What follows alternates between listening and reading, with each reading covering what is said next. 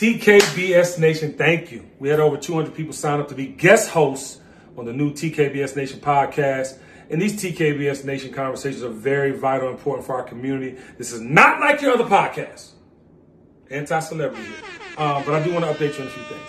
Uh, TKBS Nation episodes only air once a week and they will start in October. So for all the people DMing me, talking about Kenny, what time we going live? I need to know. I got to know. I got to know. It's not happening daily like that. All right, not now. We're actually taping the episodes and getting ready for the launch first week in October. And the importance of these conversations is for us not only to be a part of them together, but to evangelize and make them permeate through our communities. I also want to tell you there's no particular order in how we're getting the people to join the conversation. We have 200 plus people. Obviously, there are people that were very prevalent in our conversations through that racist political sphere and the pandemic. So, yes, they'll be coming on to start the podcast.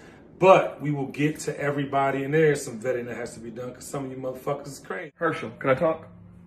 No, I'm talking to my friend Kenny Burns. To be on point, you already know. But just so you do know, it is very important to know that this show is here to impact, inform, and inspire. That is our credo and our mission. I put words to the action, and I'm glad you're a part of this journey. Listen, I love you in real life. We all we got, we all we need. And of course, the dream is real. I'll talk to you soon. Peace.